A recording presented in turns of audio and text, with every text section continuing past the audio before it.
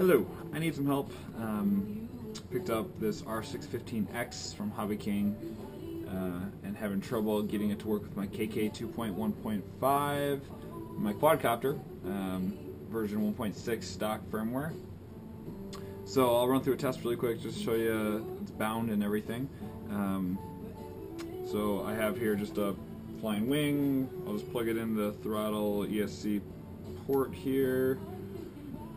Uh, currently it's set to DSMX on my Devo 10, running deviation firmware. Um, binding just fine, so plug it in.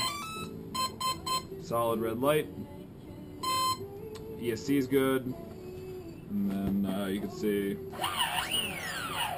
So, you know, the re receiver connection working just fine. Plug it here. Um, currently, I'm just trying one input source on the KK.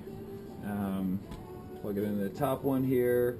Signal on the interior of the board, closest to the display.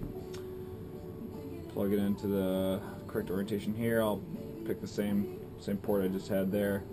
Um, up. Now I've also tried this with DSM2, no difference. Um, they'll boot up, and you, I don't know what we'll be able to see here, but under the receiver test, it all just shows no signal. Still have full bind, um, and I can.